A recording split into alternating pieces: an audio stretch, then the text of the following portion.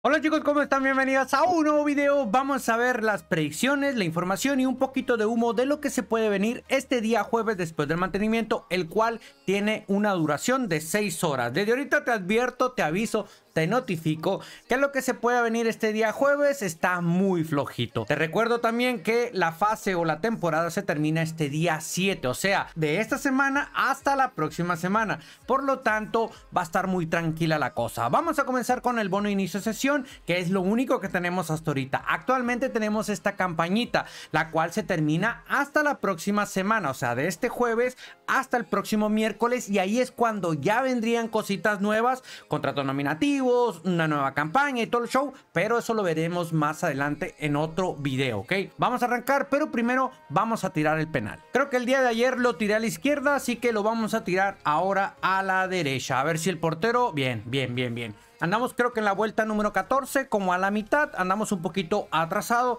porque tengo otra cuenta ahí que ya ando llegando casi hasta el final, ¿no? De esta. Bueno, vamos tranquilón. Antes de pasar a ver toda la información, te recomiendo que vayas a ver el video anterior, el cual te hice predicciones de varios Player of the Week, Player of the Week Worldwide Clubs, o sea, de ligas, y también Player of the Week de la Champions. El día miércoles por la mañana, Konami nos lanza una pista, nos va a confirmar ahí qué tipo de Player of the Week va a sacar, o sea, si de ligas o de Champion. Y también te voy a traer otra predicción más para ese videito, al igual que las calificaciones de las mejores ligas de Europa, para que te des una idea que otros jugadores van a venir. Arrancamos con los eventos, chicos, en lo cual vamos a tener de nuevo este de los japoneses, donde vas a poder ganar tu trato aventurado para los Player of the Week, que te repito, ve a ver el video anterior para que vea las predicciones. Y eso es todo, eh, creo que eso es todo lo que vamos a tener. Este evento sigue vigente para que te ayude a cumplir con los objetivos, donde hay moneditas, GP, puntos de experiencia y una ficha de En cuanto a monedas también chicos, vamos a tener solamente otra vez este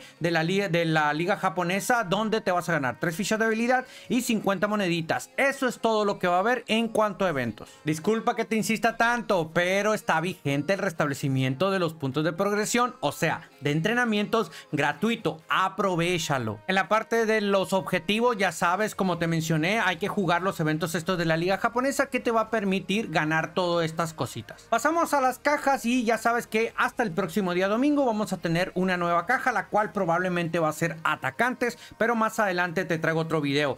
Este de aquí se va a terminar, el de los épicos japoneses. Y también, ojo, todo esto se va a ir. Si tú tienes jugadores aquí que todavía no han reclamado, eh, te recomiendo que lo hagas, ya sea que los dejes ahí o si ya no tienes espacio, pues simplemente contrátalos y después los despides. Así que nada más atento. Te digo porque yo en mi cuenta secundaria no los había reclamado hasta que me acabo de dar cuenta que le queda un día 19 horas. Y como se van a ir todos estos que tienen que ver con la Copa Asiática? Van a llegar uno nuevo. Al menos creo yo que van a ser dos cajitas, pero con jugadores que tal vez no te van a gustar. Pero antes de pasar a ver esos jugadores que te digo que no te van a gustar, te voy a dejar esta predicción gracias a Club y Fútbol que por aquí nos etiquetó. Te vuelvo y te repito, ve a ver el video anterior donde hice, donde te mostré varias predicciones. Tenemos a Cota, el portero del León de la Liga MX. La veo muy complicada que lo vaya a poner, pero bueno, ahí está. Y todavía lo pone potenciado. ¿Ok?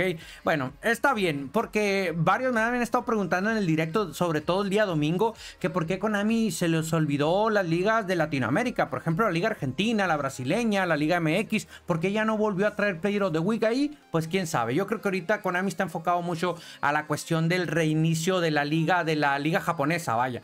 Así que ya veremos, ¿no? ¿Qué más nos trae Konami después? Pero esto sería hasta el 7 que comienza la nueva temporada. Tenemos a Minamino, a Basi, también central este del Fulham. Creo que consiguió la victoria de contra el, no sé si el Manchester United, creo, si no estoy mal. Tenemos a Camara con eh, Busteo, Rafinha, por supuesto, Rafa Silva, delantero centro, que metió dos goles y asistencia. Luke de Goa, creo que metió tres goles y una asistencia. Douglas Luis también metió dos goles. Bowen, que se mandó triplete sí que es fuerte candidato. Este no te lo había traído porque jugaron el día lunes. Harry Kane, igual también Dybala jugaron el día lunes y metió triplete. Por lo tanto, esos dos son los que aparecen a diferencia de las predicciones del video anterior. Ahorita te mencioné que Konami iba a poner una o dos cajas de jugadores que probablemente no te vayan a gustar. Y sí, estos jugadores que están aquí aparecen en el trailer de, la, de esta nueva campaña de la liga japonesa que tiene que ver con el inicio de la nueva liga japonesa,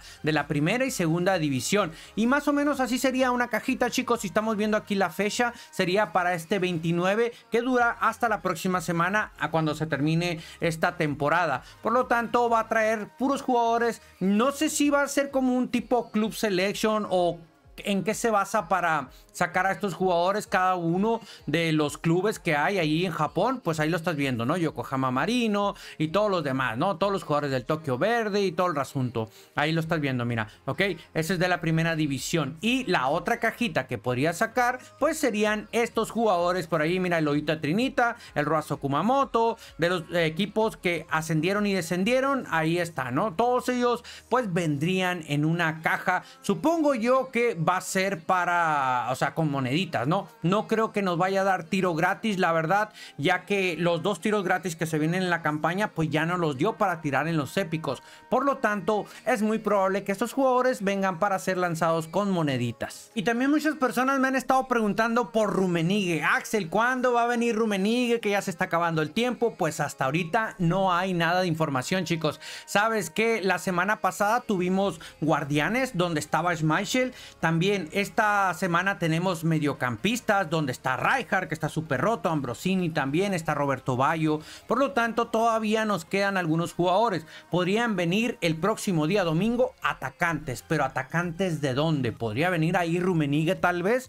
porque yo no veo tantos atacantes aquí. Si tú te fijas, por ejemplo, falta Ronaldinho, que podría ser parte de los atacantes, pero también por ahí me mencionaron que podían sacar atacantes, pero de selecciones. Recordemos que tenemos un Batistuta, está un Van der Bar también ahí de selección, Mateus con Alemania, está Gerard, está Scholes con Inglaterra. Entonces, no lo sé chicos, la verdad todavía no está confirmado, pero recuerda que después del mantenimiento se filtran los jugadores destacados que salen en la caja con los épicos y gracias a esa información pues ya podemos deducir cuáles son los próximos épicos para el fin de semana, para el día domingo. Ojalá que se venga Rumenigue. ¿Con quién podría venir Rumenigue? Pues ahí estamos viendo, ojo, no va a venir con Beckenbauer. ¿Por qué? Porque Konami sigue con la temática de atacantes, mediocampistas y guardianes. Por lo tanto, Rumenigue es atacante. Y este vendría tal vez con eh, Pizarro, sería uno. Rumenigue sería el otro. Y Jones sería el otro. Aunque Jones viene como media punta. Por lo tanto,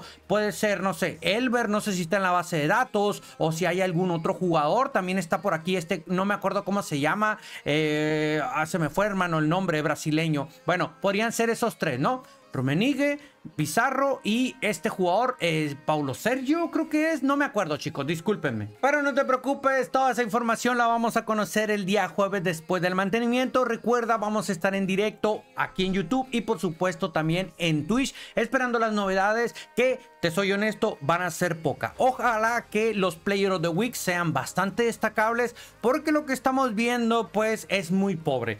Te vuelvo y te repito, prácticamente esta fase, esta temporada se terminó, solamente le que a una semana, no tiene caso que Konami eche toda la carne al asador porque ya se aproxima la nueva temporada la próxima semana donde va a haber cositas, ¿no? Nueva campaña, contrato nominativo, reinicio del pase de partido, etcétera, etcétera. Y ahí es cuando también nos va a dar a conocer qué épicos pues tiene programado para esa nueva temporada. Pues nada chicos, te agradezco llegar hasta aquí. Muchas gracias por dejar tu like, suscríbete, activa notificaciones y no te pierdas el directo de este día miércoles, que por supuesto el miércoles por la mañana te voy a subir otro video con la confirmación o filtración que nos da Konami de los Player of the Week. Nos vemos a la próxima. Hasta luego. Bye, bye, bye.